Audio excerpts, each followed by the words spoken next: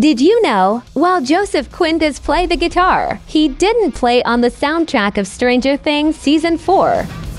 His cover of Metallica's Master of Puppets is actually played by Tye Trujillo, and Tye's dad is none other than real-life Metallica bassist Robert Trujillo.